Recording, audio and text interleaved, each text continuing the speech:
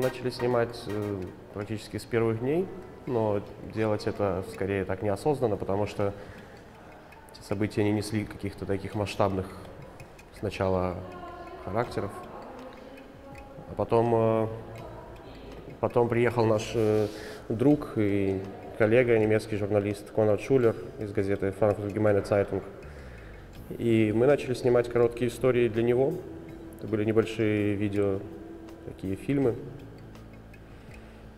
которые потом объединились и стали частью вот фильма Евромайдан Равкат.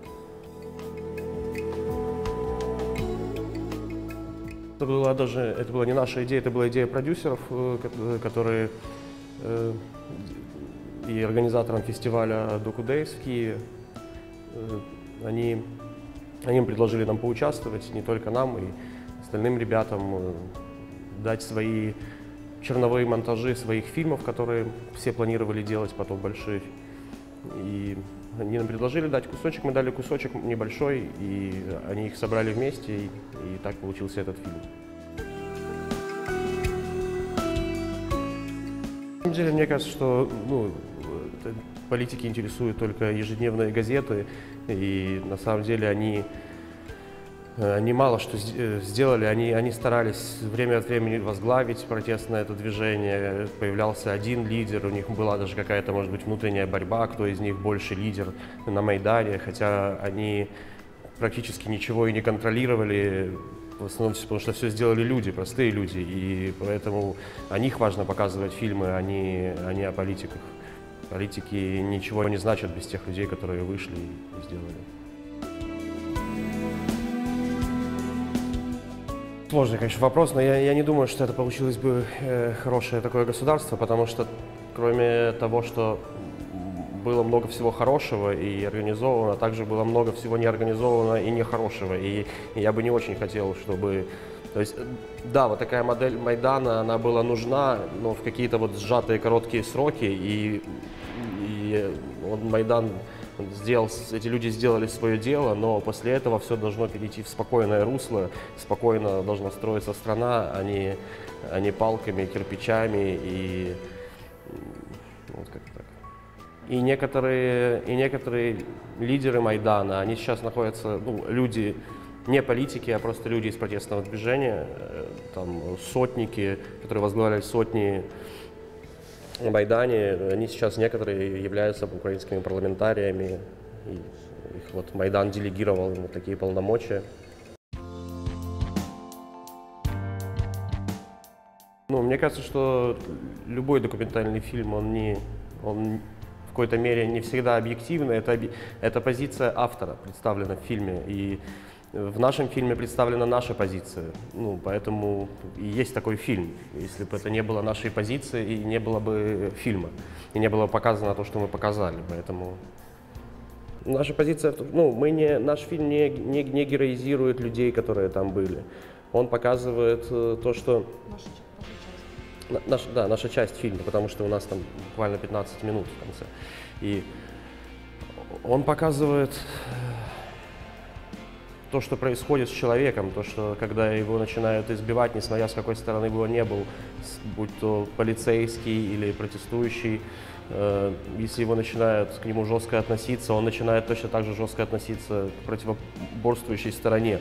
И в конце концов это все проваливается вот в такую сумасшедшую агрессию, направленную просто друг против друга и, и, ничего больше. Можно я, допустим, я лично я не поддерживаю, у меня были знакомые, которые привозили бензин, привозили покрышки, я как-то это не поддерживал. Но с другой стороны, это тоже нужно было, потому что без этого не произошла бы революция. И я больше такой пацифистический человек. Моя позиция как журналиста и документалиста была снимать это, в первую очередь снимать. Э, это даже больше, чем какая-то гражданская позиция. У меня преобладает вот эта часть. Ну, мы, у нас вот есть фильм «Евромайдан Равкат», который пока, показывали на фестивале Doku Days год назад.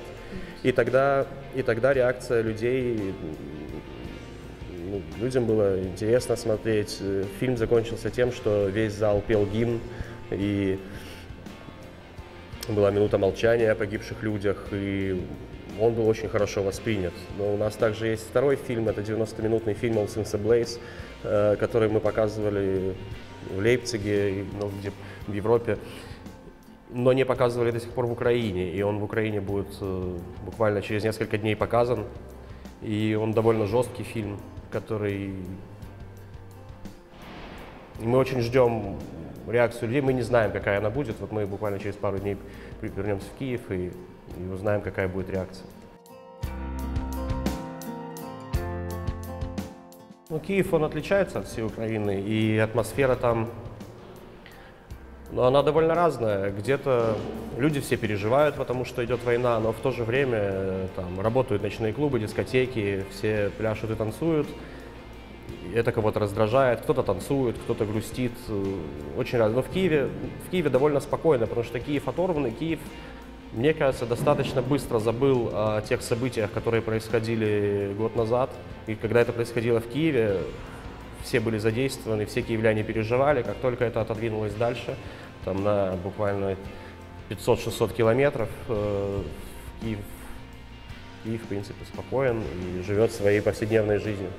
Но в то же время много людей и в Киеве, не только в Киеве, задействованы в волонтерских движениях, о которых держатся, наверное, огромный процент фронта – это люди, которые делают э, дроны, э, делают бронежилеты, там, собирают аптечки. И этих людей тоже огромное количество, они помогают фронту, отправляют туда, постоянно ездят, сами за свои деньги все покупают.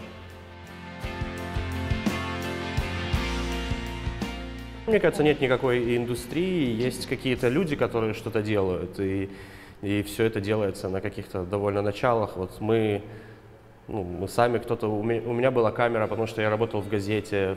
Второй наш товарищ, который, с которым мы снимали, он эту камеру одолжил. Э, у третьего не было, он купил ее во время революции. Э, но что удивительно, что если когда ты делаешь какой-то хороший проект, и людям и люди хотят в нем поучаствовать, то есть огромное количество звукорежиссеров, э, людей, которые делают постпродакшн, которые готовы заниматься этим за очень небольшие деньги, и, и поэтому в Украине можно что-то делать.